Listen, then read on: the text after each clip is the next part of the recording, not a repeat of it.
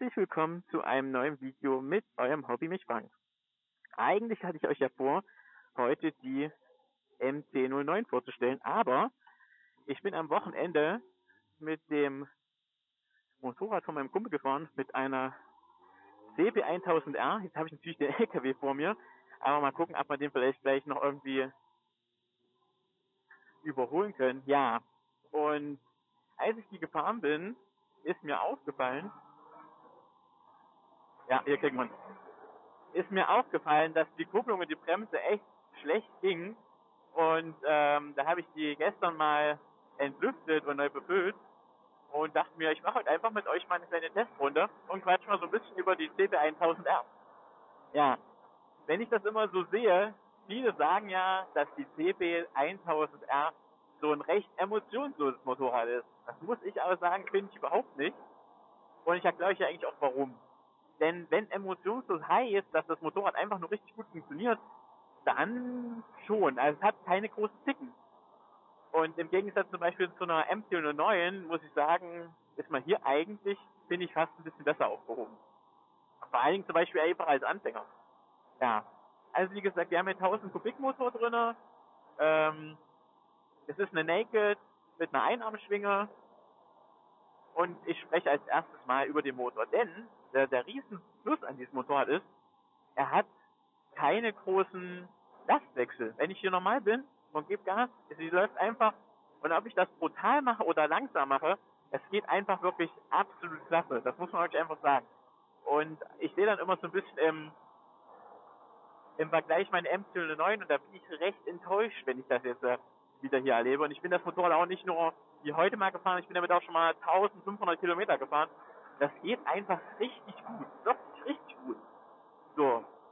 Als nächstes, ähm, Reifen sind hier Conti Sport Effect verbaut. Funktioniert mit dem Motorrad wirklich einwandfrei, hat schönen Grip, man muss ein bisschen wärmer fahren, aber das läuft wirklich richtig klasse.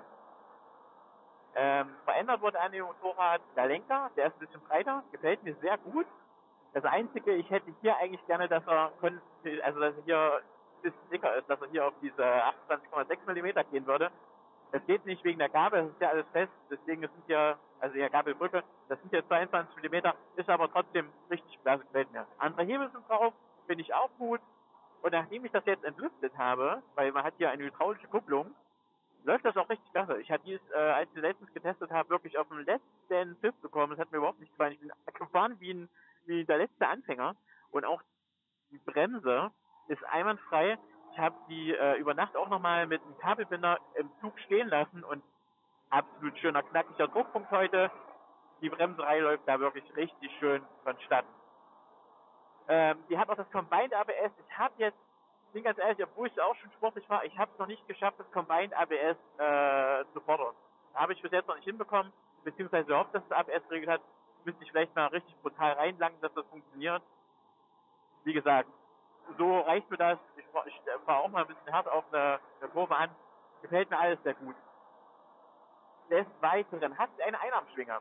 Das hat Vor- und Nachteile. Die größten Vorteile sind, wenn ihr die Reifen selber wechseln solltet, ist das richtig klasse, ähm, weil dann ist das Ganze einfach wie eine Autofelge zu behandeln. Ihr habt dort keine, das Lager nicht in der Felge und ihr könnt das Rad recht einfach demontieren. Das Einzige ist, ihr müsst den also hier sitzt zum Beispiel ein Aero drauf, ihr müsst den Auspuff oben lösen und dann einfach umheben, man kommt nicht vorbei.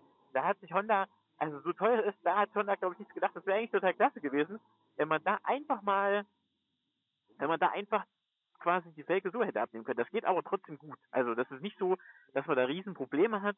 Das sollte trotzdem funktionieren. Genau. Ähm, Schwinge wird ein bisschen vollgesaut, finde ich aber auch nicht so schlimm. Also von der Kette, ähm, ihr kommt top an die Bremse ran. Also hinten Bremsen, äh, die Belege wechseln, das ist ein Witz. Das ist wirklich ein Witz. Oder auch Bremsscheiben, das ist alles total einfach und easy. Wartungstechnisch ist das eine ganz feine Sache. Auch ähm, wenn ihr den die, äh, die Lampe hier vorne wechseln wollt, das geht total klasse. Ihr könnt einfach hier zwei Schrauben wechseln, das Ganze abklappen und könnt, die, Schrau äh, könnt die die Lampe einfach ersetzen. Das geht wirklich total klasse. Also das kann ich euch auch nur empfehlen. Wunderschön bei dem Motorrad. Negativ. Ein bisschen negativ finde ich zum Beispiel ähm, den Tacho.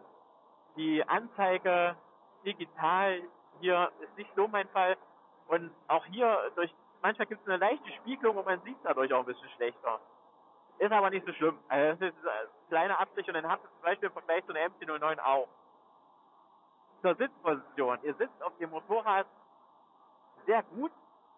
Ähm, das Einzige ist, ihr sitzt, sitzt mir auf dem Motorrad drauf und nicht drin. Eine vergleichbare FZ1, dort sitzt man halt mehr im Motorrad drin. Aber man gewöhnt sich hier schnell dran und dann läuft das auch richtig gut. Also ich finde das wirklich klasse. Auch hier Armatur und Blinkerei kommt noch top dran. Wie gesagt, ihr kommt ja aus der Kurve raus und könnt gleich richtig schön. Also es geht wirklich klasse. Da kann man überhaupt nichts meckern. Genau, andere Blinker sind hier noch verbaut. Ähm, einen Bugspoiler hast du noch. Und das war's, glaube ich, auch. Von der Sitzposition ist total klasse. Ihr könnt mit dem Hintern richtig toll an die Rücksitzbank richtig hinten rum. Und habt dort richtig Halt beim Durchbeschleunigen. Das finde ich absolut toll.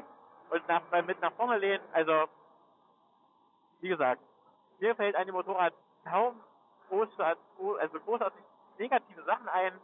Und wenn man es genau nimmt, im Gegensatz zu einer MC09, wo Foren damit voll sind, dass man zwar drei Fahrmodi hat, ja, aber eigentlich ja nur einen benutzen kann, weil alle anderen irgendwie total stoffig sind und hier auf dem Ding sitzen wie so ein Anfänger, muss ich sagen, ist das ja einfach die beste Wahl. Ich weiß nicht, ob es an der Euro, an der Euro 4 oder 5 Norm liegt, also ist der 4, glaube ich, ist der Motorrad.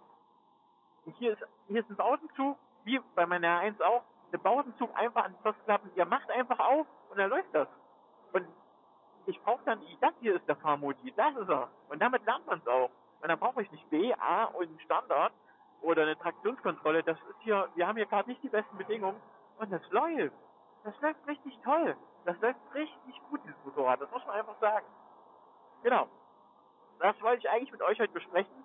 Ich werde gleich ähm, diese wunderschöne Strecke hier auch nochmal mit ein bisschen mehr FP fahren, damit ihr auch nochmal seht, was die DB1000R auch so leistet.